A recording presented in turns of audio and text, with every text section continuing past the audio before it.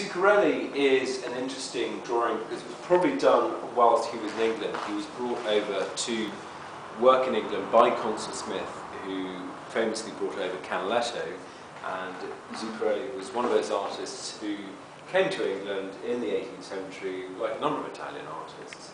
And my feeling is that he did this in England. He's known to work with various collectors. Um, this did come from a private collection in England, um, and it's a very typical example by him. Another particular uh, favourite of mine is this recent discovery by uh, my namesake Crispijn van de Passe, who uh, came, comes from Holland.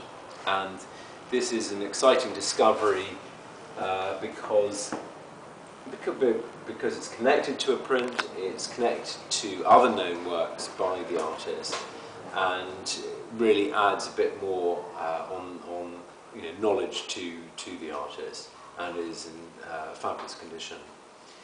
Another favourite of mine is this uh, British watercolour by Peter Paillou. Uh, this, is, this is drawn on vellum, he signed it, um, he invariably did them full print, and uh, often they were engraved. This one wasn't. This, uh, he was going around England uh, in the 18th century making drawings and watercolours which were then published and he was one of the first artists to set up an encyclopedia.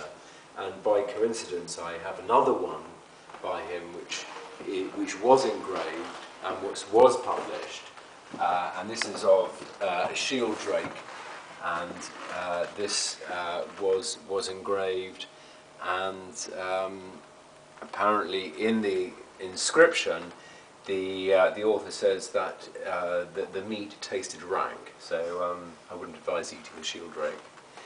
Um, and going to the French school, um, one, one of my favourites is this watercolour by uh, Casimir Carbonnier uh, of this unknown French sitter. It's beautifully done. He is um, a fairly minor artist, but, but was taught by Jacques-Louis David, so it has a very good uh, provenance in, in that respect. And this is signed and dated, possibly of an English sitter, we're not sure, but he did work in England, so this, my feeling is a French sitter, but I don't know, further research may reveal that.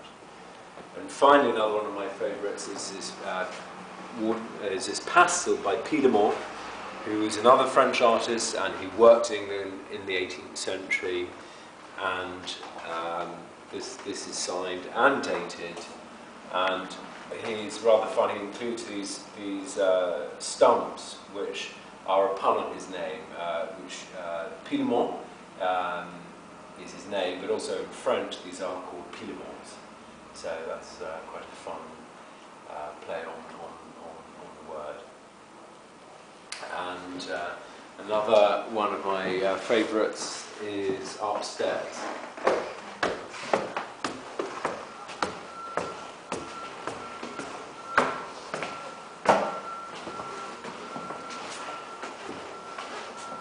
This is um, by an artist uh, who worked in Venice in the 18th century. It's possibly a portrait of Piazzetta, the famous uh, Italian artist and this is probably by another Italian artist called Torresani. Um, it's very beautifully done. Uh, we're not absolutely sure it's by him, but uh, research so far uh, leads us to, to believe that. The, the drawings were often not often weren't signed or dated, but often you go on stylistic comparisons, and um, it's difficult to be sure because the artist's dead and we can't ask him. So um, that's a shame.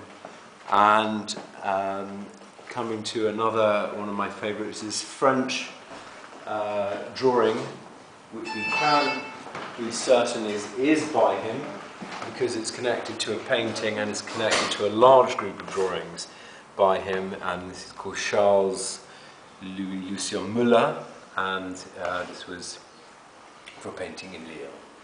And that is uh, about it on my favourites. Thank you.